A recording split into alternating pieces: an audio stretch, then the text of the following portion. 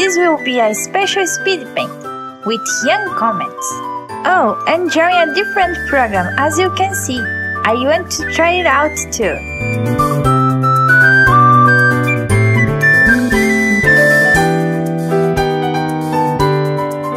On this piece, I got inspired by some spring photos I saw.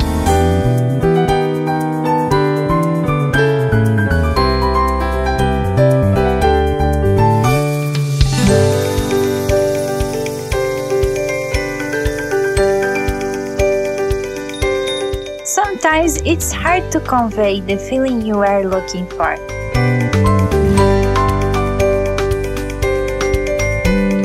That's when I just decide to let my hand flow without worrying about anatomy.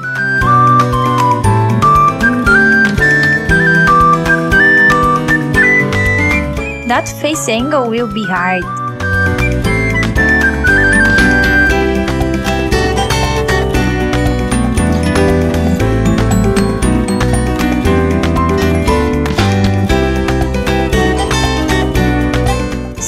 People will say I'm doing line art, but it's actually just tracing over the rough sketch.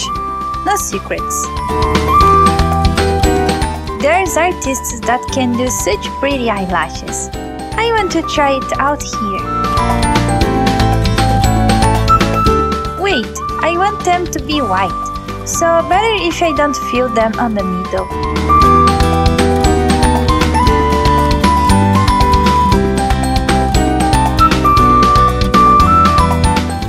A long time to learn to draw the jawline, and I still feel I have much to learn.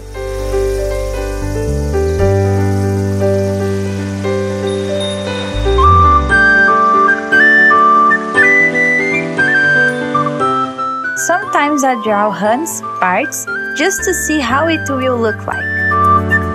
I don't mind erasing because drawing them at least counts as practice.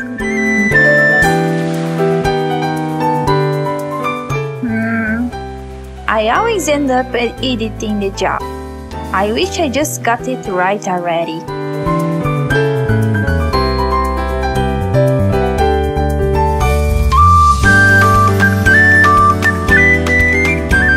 Time to draw the body? Nah, let's have fun doing the hair.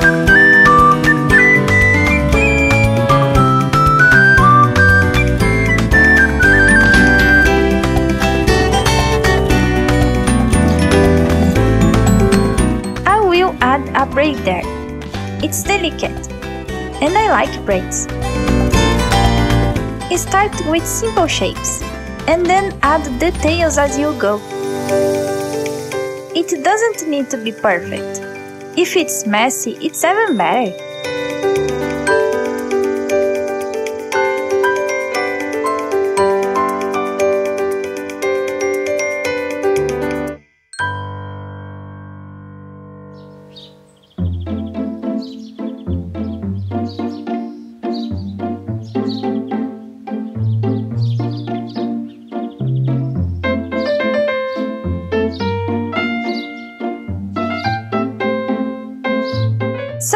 To add thin loose hair all around.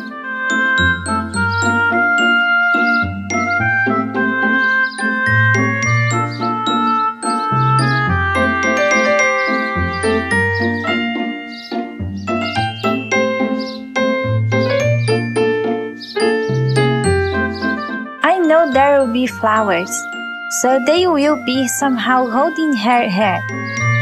Oh no! Realized she got the big brain head problem. Fixing is complicated, and Transform tool on CSP works differently than SAI. Or I don't know how to use it.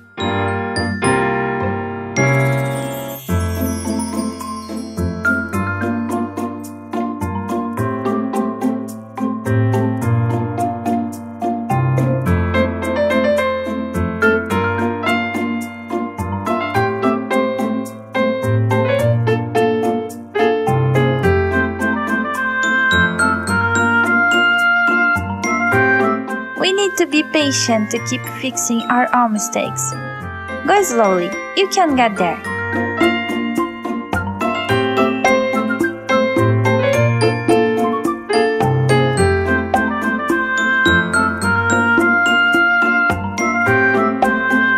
Mouths are interesting to draw.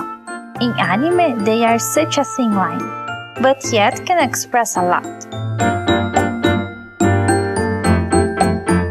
This drawing, I wanted to add these nose line dashes as a style test.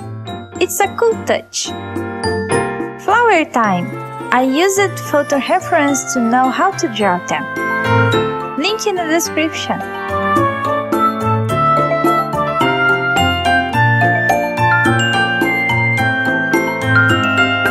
I feel that doing these thin lines on CSPs is easier somehow. Maybe that's why many artists that use CSP do such amazing line art. Using a different program to draw feels refreshing. I like this feeling of trying something new and learning.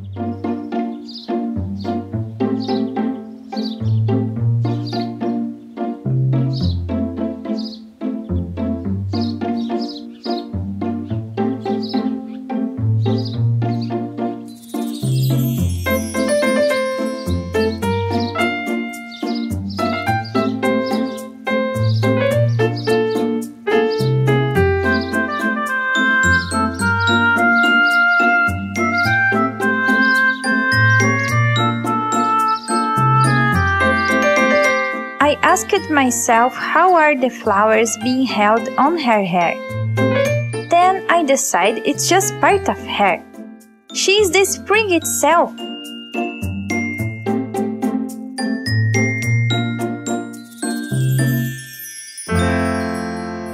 I never had favorite flowers. Do you have one? I like any that has interesting color and shape. Have you seen very tiny blue ones? They are adorable.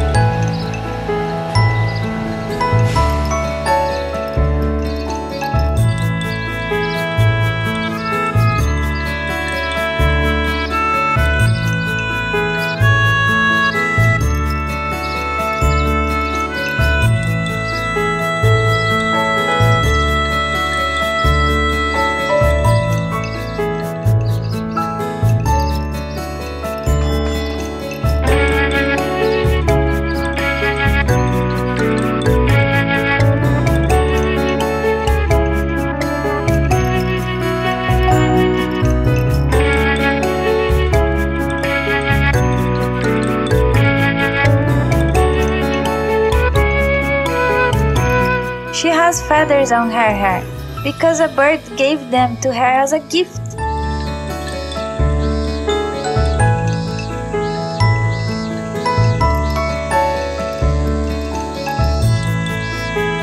No idea what to do with the body pose.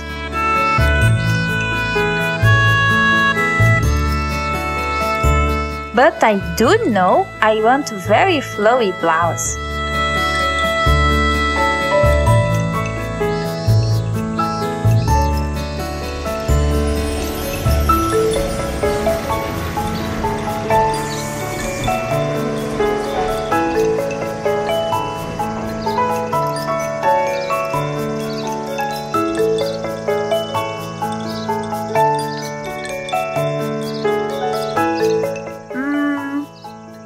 Is this not as I imagined on my head?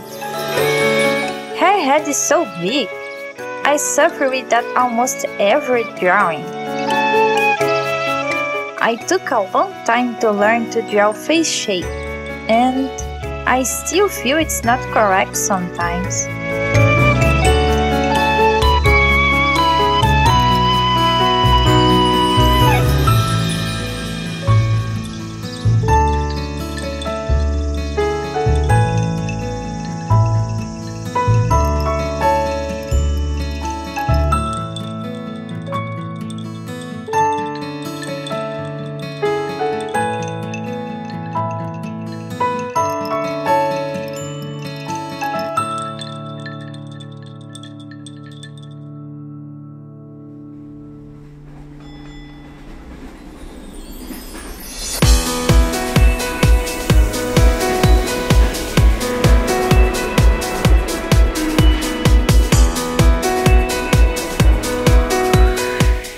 Sometimes editing small bits of the forehead hair parts already helps a lot.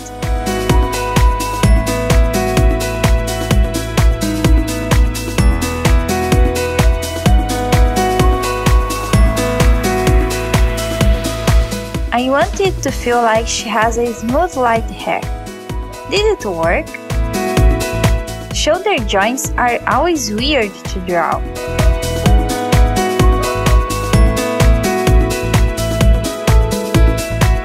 And there I thought, ha! Why to draw a body if she is the spring itself? She has flowers inside her. I am a genius. I'm lazy. But it's okay, I get things done. Mm-hmm.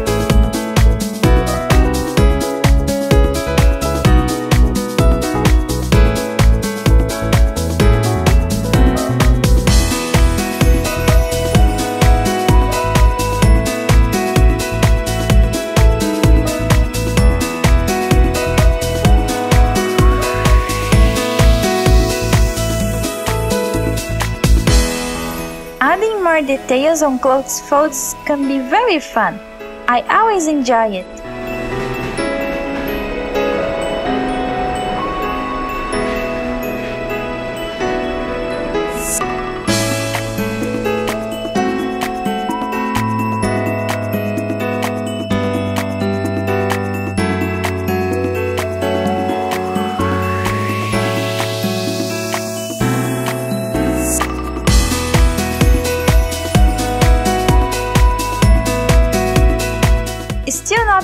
With the face. Why it feels so weird? Help. Alright, I will go back to the basics so I can make the angle as I planned in first place.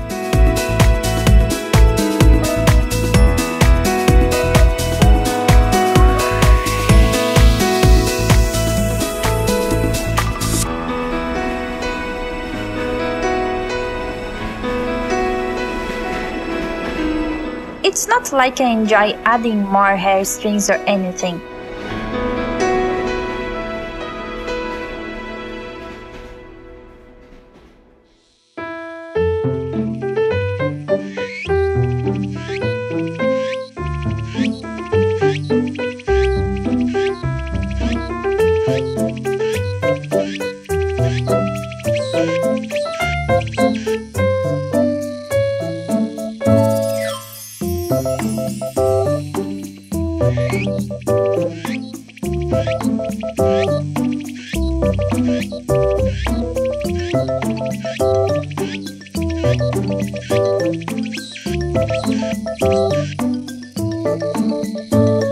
Since editing her eyes made the lines too blurry, I decided it would be a good moment to redraw it with better quality.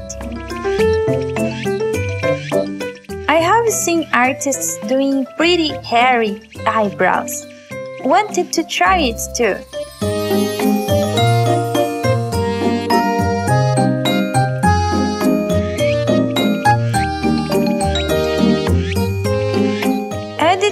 Out again.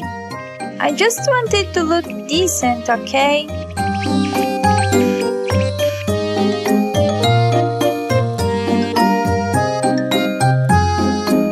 I don't know where the hair is going or if there is any wind.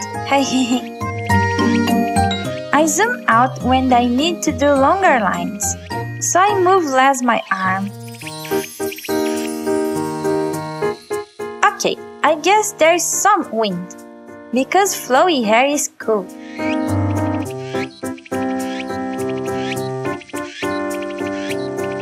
Moment I realize it's past half the video and I didn't start coloring yet. What can I do if it's fun to draw out that hair? I hope you are enjoying too.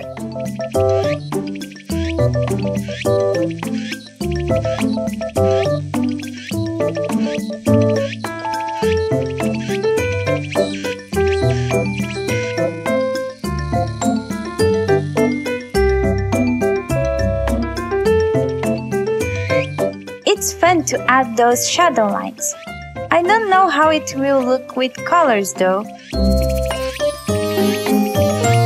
But it looks pretty in black and white. I recommend doing it if you are feeling lazy to color.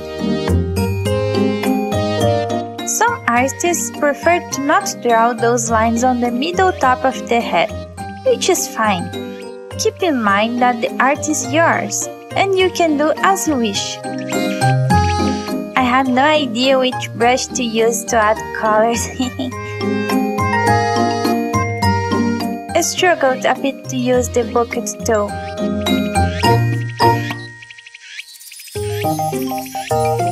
I also did not know which brushes to use to shade. But I thought, darker pencil, does it act as colored pencil? No. It doesn't have a good color blending, so I changed to oil paint brush.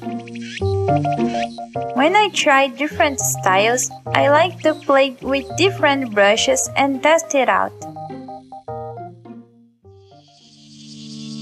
Yay, let's shape the lips and prove myself I can make them look nice. Highlights are always the fun part.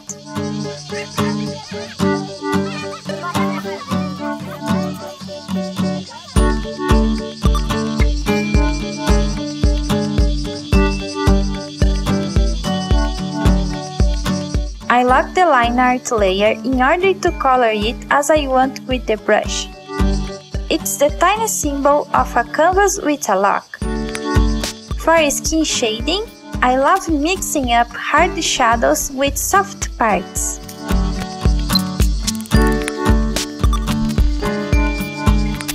Why do I add purple touches? Because some of the artists that inspire me do so, and it looks good. Here I used the selection tool of CSP. You can set the line art layer or folder as reference. Inverted selection with one of the icons on the top.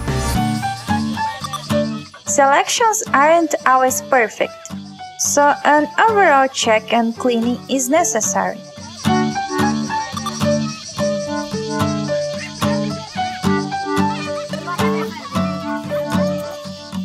Actually, since the line art is so detailed, the shading can be simple. I love doing the bangs part with a bit of skin color.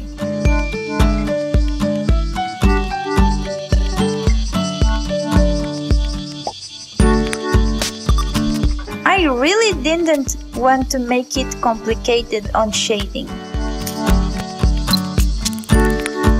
But I decided it needed some darker shadows. They help to add depth. Was feeling like it needed a bit of green. It is white hair, so you can go crazy with colors. Some colors are subtle, but that's what makes it nice. Spend some time testing the layer blend modes. On the end, none of them was what I wanted. I actually prefer to not use the effects if I can.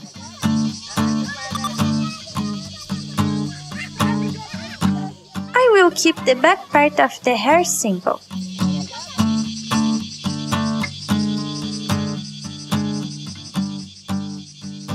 As well the flowing strings.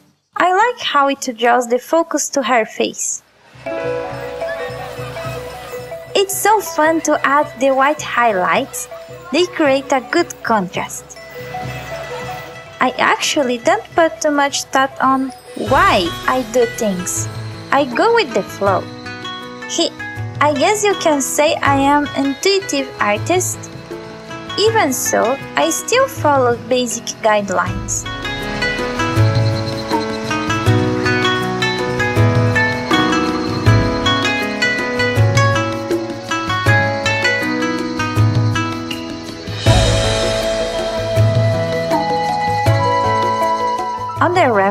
the flowers are more saturated, but they are mine now, and here they are soft.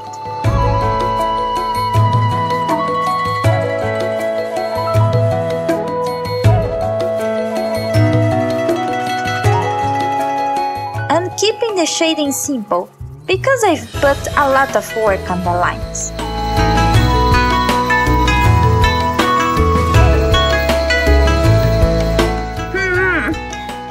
Feel nicer when the lines are colored?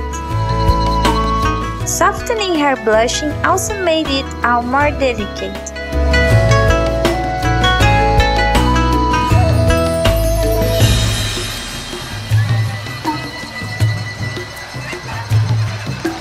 It's common for me to retouch the skin after shading the hair. I guess it's because I get a better view of the colors. The back flowers are white. Used some yellow though, to look different from the hair.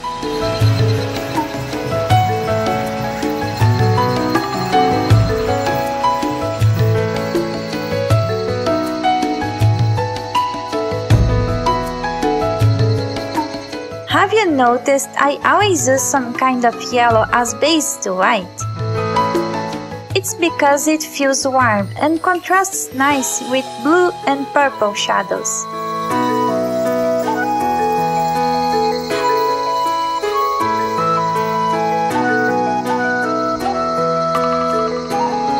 A good approach is to add the overall shadows and then after that add the details.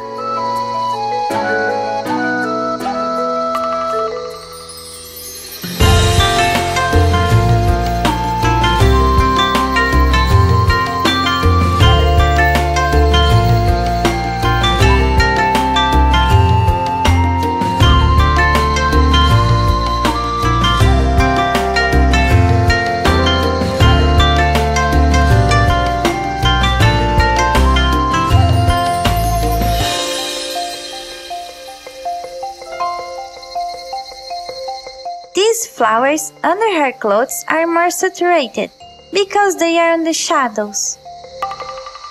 Just kidding, it's because I like that pink.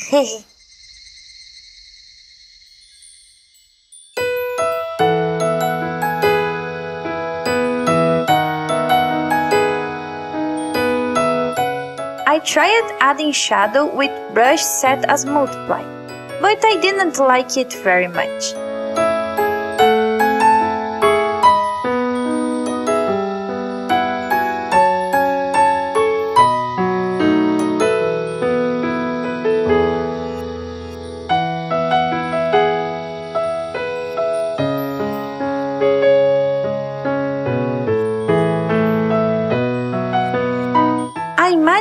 Bouncing light.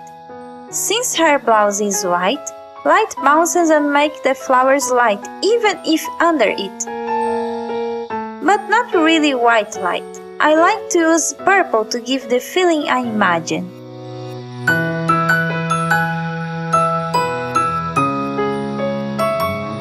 Ah, we're getting close to the end. I want to say I'm still amazed by how much my channel has grown. And I am really thankful for all you guys' support. I try to read all the comments. So, thank you very much for every one of you that supports my art. Ah, I almost forgot to shade the feathers. Hehe. Imagine a bird with teal colors. I love the teal color. Makes me feel calm. There I add a bit of pink from the flowers.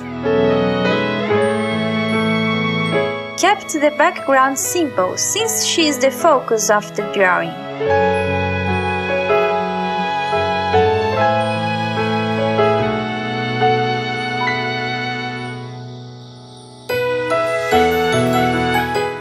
Touches are always exciting.